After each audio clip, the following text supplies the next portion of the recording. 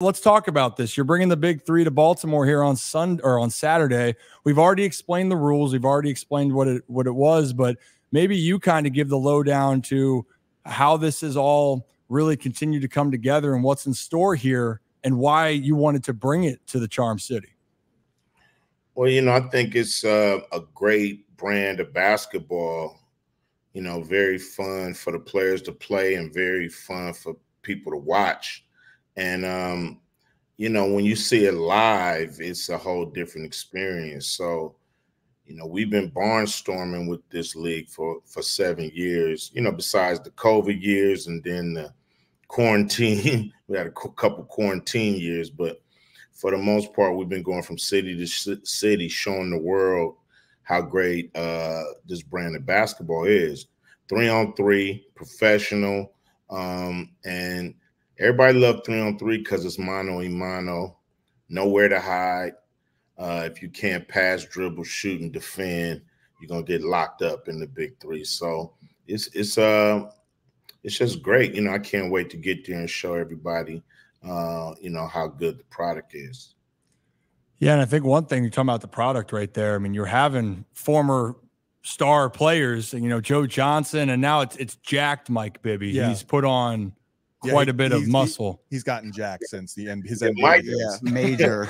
so it was Mike Bibby in the NBA. Now it's jacked Mike Bibby when he was big three. Yeah, it's different. It's but that's the personality people wanted to see, obviously.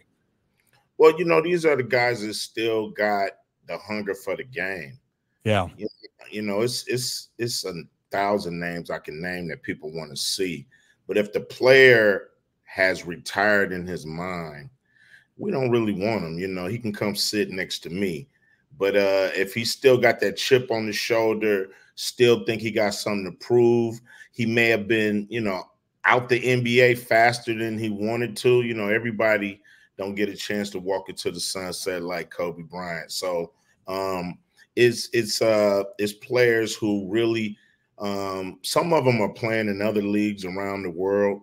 Uh, so they're playing in China and they're playing in you know uh, Puerto Rico and in Europe, and so you know this is where they can play uh, this style in front of their you know fans, friends, family, people who who've been supporting them all this time. Now get to get a chance to see them play on CBS or X. Yeah, I'm glad you brought that up too about not everyone gets to walk off into the sunset. So, you know, fortunately, you know, I had a, a, father that had a chance to kind of similarly, he got to play for a long time and then hang it up in Baltimore here for the Orioles. And, uh, you know, it doesn't always work out that way, but the, the, desire doesn't go away for guys. And that's what I love is that you guys got the passion there with the league. And now, correct me if I'm wrong, it's seven years you guys have been doing this, you said? Seven years. It's really been eight. You know, we had to survive a COVID year yeah. that we we couldn't play.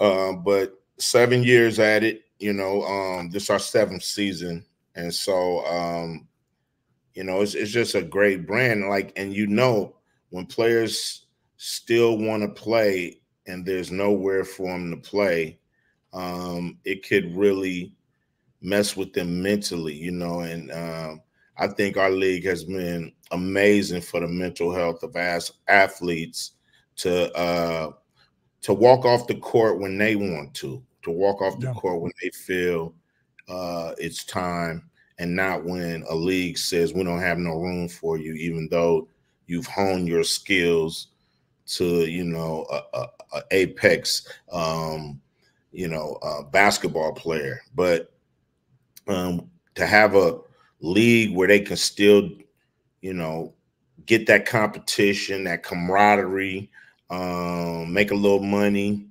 uh, entertain the fans. It's, is to me what the doctor ordered, especially at this point in the summer.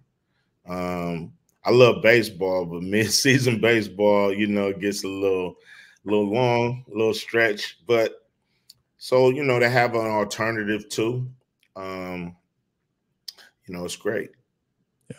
And I love that. And the baseball part, eh, after this next one, I got to ask you a couple baseball questions. Don't you worry. But kind of alluding to that, what's making you different, Rock, is going into what you wanted to ask. Yeah, Ice Cube, thanks for joining the show, man. First and foremost, like I'm, sure you had a, a, ton of doubters when you first started this thing year one. Correct me if I'm wrong.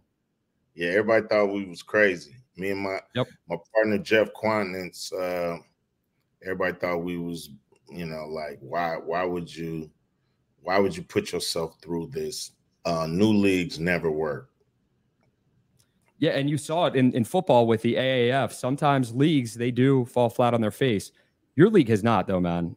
Seven years strong. You guys are doing fantastic things with the big three, but you continue to evolve day in and day out. And it seems, and whether it's you, whether it's people behind the scenes as well, your, your whole team just working on this. You guys seem like you have a really solid plan in place going forward to keep this thing not only afloat, but as successful as humanly possible.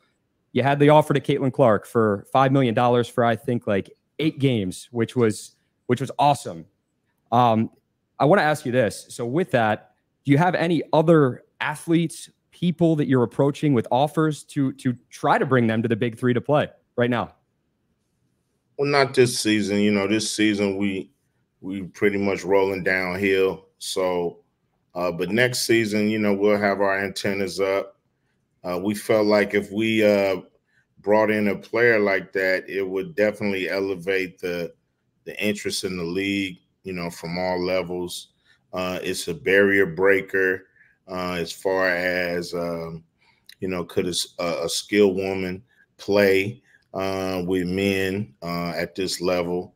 Uh, three on three, too, which is a little tougher than five on five. Uh, so, you know, it wasn't up to us to say she couldn't. It was up to her to accept the challenge and go for it. And um, and you know she didn't. We wish her luck, and we're gonna move on and keep it moving.